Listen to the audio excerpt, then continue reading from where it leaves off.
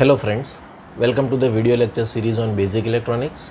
I am Dr. Alpesh Dafda and today we will study what is a transistor. Now if someone asks you what is the most important invention of 20th century, you may answer television, computer, internet. No. The most important invention of the 20th century is a transistor and the computers or televisions or internets are possible only due to transistors.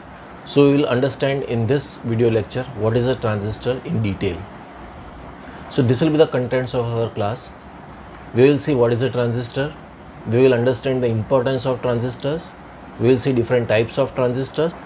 We will see the transistor symbols, terminals of a transistor, size of different layers of a transistor, doping of different layers of a transistor and function of different layers of a transistor. So starting with what is a transistor. So as I told you in the very first lecture, everything is there in the name. So just try to understand the name. The name transistor is made up of two words, transfer plus resistor. Transistor, right? Transfer plus resistor. So the device that transfers the current from the low resistance circuit to the high resistance circuit is known as a transistor. So a transistor is a semiconductor device obtained by growing a thin layer of one type of semiconductor, this one, thin layer, right, between two thick layers, these two thick layers of other similar type of semiconductor. See these two are similar, P and P type, right, and this N is the different material which is sandwiched in between two p type materials. It can be the reverse also. There can be two n type materials and in between the two n type materials there can be a p type material. So that is known as a npn transistor. This one is known as pnp transistor. So this transistor is basically you can say two pn diodes. How? These two pn diodes are connected back to back. Let us see. Okay what is this? P and this is n right? Can i draw like this? And a second diode. So this is p this also is p this is n. So these two diodes are connected back to back. Or even uh, for npn transistor it can be like this right? This is first diode this is second diode and i am connecting it right? So this is of course n material this also is n material this is a p material right? So it is two PN junction diodes connected back to back. Now, why these transistors are so important? Because this transistor can perform the function of amplification. Now, what is amplification? Let us take one example. See, for this transistor, there are two junctions.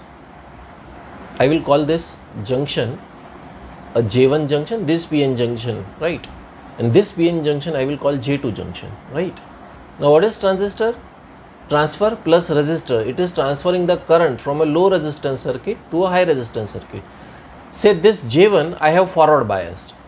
Okay so you know when pn junction is forward biased the resistance is very low. Okay let us assume that r1 of j1 as it is forward bias is very low say 10 ohms. Okay and this junction j2 is having a resistance which is reverse bias.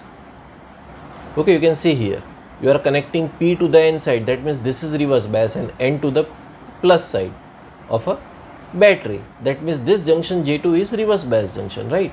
And reverse bias junction does not allow any current to flow. It is having very very heavy resistance. So say this resistance is 1000 ohms. Okay let us say for example right? Now I am passing some current I from J1 to J2 like this. Let us assume this I is 2 amperes. So what will be the voltage at junction J1? V1 is equal to I into R1, I into R1 Ohm's law. What is I?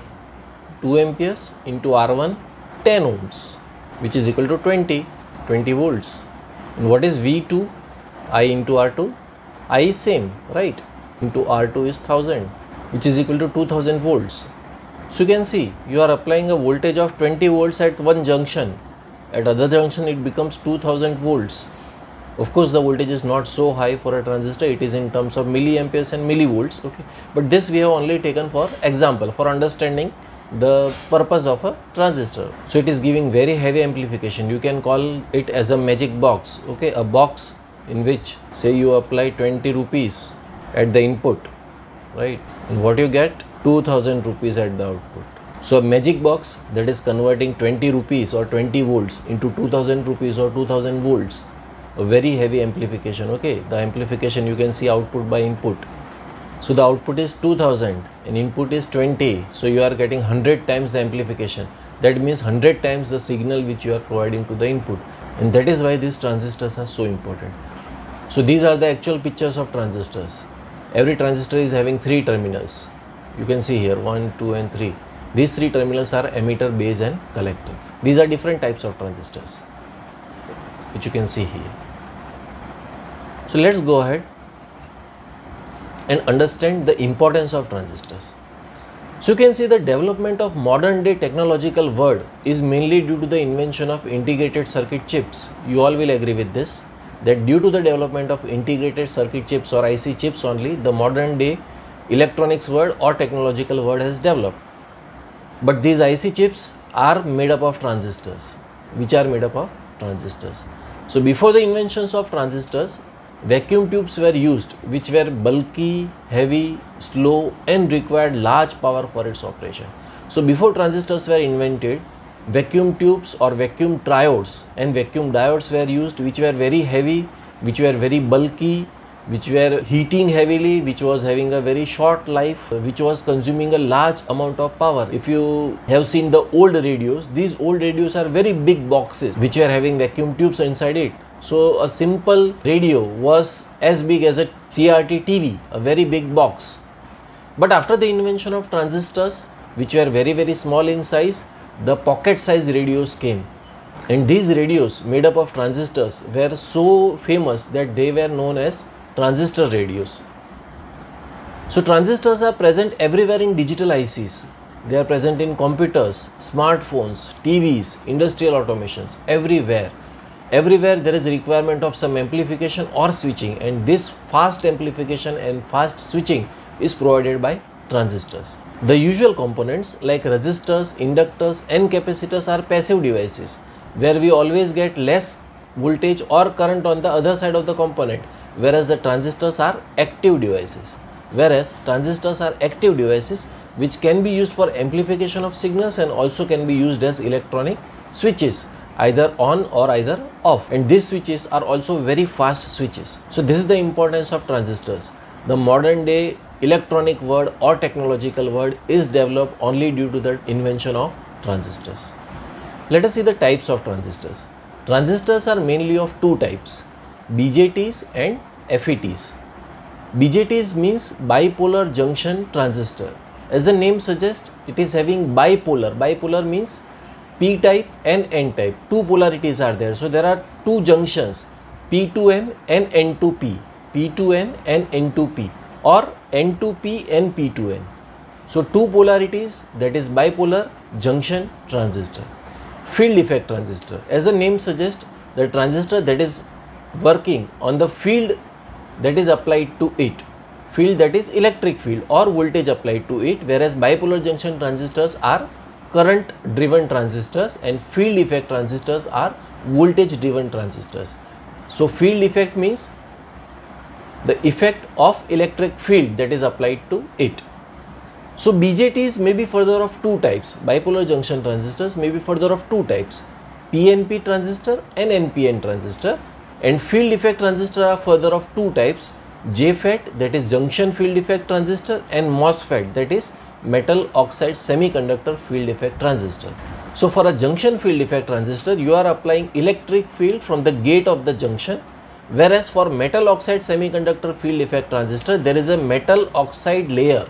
There is a thin semiconductor metal oxide layer at the gate of the transistor and hence it is known as metal oxide semiconductor field effect transistor. So these JFETs and MOSFETs are further of two types, P channel JFET and N channel JFET and MOSFET are also of two types, P channel MOSFET and N channel MOSFET. So these BJTs and FETs are three terminal devices. Why these three terminal devices are important? Because using this three terminal device, there is a middle terminal which can be used to control the current in between the input terminal and the output terminal or you can say you can use the middle terminal to control the voltage in between the input terminal and the output terminal. So these are different types of transistors. Now let us understand different symbols of transistors, terminals of transistors, size of different layers of a transistor, doping of different layers of transistor and function of these different layers of transistor. So starting with the symbol, for every transistor there are three terminals emitter, base and collector. So this one is your emitter E, this one is your base B and this one is your collector C. Now this is the symbol of a transistor. The current arrow or current direction is always shown at the emitter of the transistor. So this is base, this is emitter and this is collector and the arrow is going inside you. Now this arrow is the arrow of a PN, right? This arrow is always from P to N as it is for a PN junction diode. So this will be P and this will be N. You can see the arrow. This will be P and this will be N. So if this is P and this is N, the third terminal will be a P terminal. So it is a PNP transistor. Remember the current direction or arrow direction is always shown at the emitter. Similarly, this is the symbol of a NPN transistor. Here you can see the arrow is coming outside, right? So this will be N because arrow is coming outside. You can see here, this is arrow, right? So this arrow point shows N. And this shows the P. So remember this arrow point shows the N. So this is your N. Okay, if this is N, this will be P. And if this is P, this again will be N. So it is a NPN transistor. So this is how you show the symbol of a transistor. Okay, I am repeating again.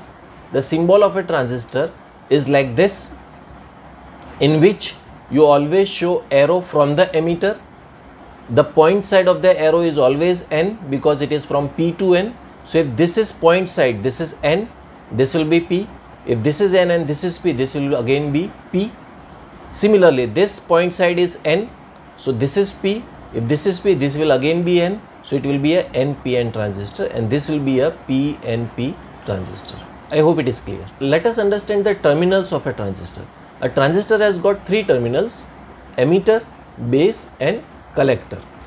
As the name suggests, emitter is one that emits charge carriers. It may be electrons or holes as the majority carriers. If it is a PNP transistor, it will be emitting holes. And if it is a NPN transistor, it will be emitting electrons, right? Base is one that provides a base for the charge carriers to pass to the collector. And collector, as the name suggests, it collects. So, to collect the charge carriers is the function of a collector. So these are three terminals emitter, base and collector. Emitter will be emitting the charge carriers, base will be providing the base for the charge carriers to pass to the collector and collector will be collecting the charge carriers. Now the size, the size of this emitter will be moderate or medium. You can see here this size is medium, the base is very thin and collector is very thick as compared to emitter and base. You can see the collector is wider. Now let us understand the doping the doping of emitter is very high. Why? Because it has the function of emitting the charge carriers. So you can see the color I have shown with a dark color. This dark color suggests that it is heavily doped the doping of base is very light. You can see here the doping of base is very light. Why? Because it does not want the charge carriers to recombine over here and it passes most of the charge carriers to the collector. And the doping of this collector is moderate. You can see here by the color. Here you can see a dark color. Here the color is little bit light as compared to the emitter. So here the doping is moderate. But the width is very wide. Why? Because it has the function of collecting the charge carriers. Remember as per the name, emitter has the function of emitting the electrons, base has the function of providing the base to pass the electrons and collector has the function of collecting the charge carriers. So, we will understand the working of a transistor in the next video lecture. So, that is all for this video lecture. I hope you gained a good knowledge from this video lecture. Thank you very much.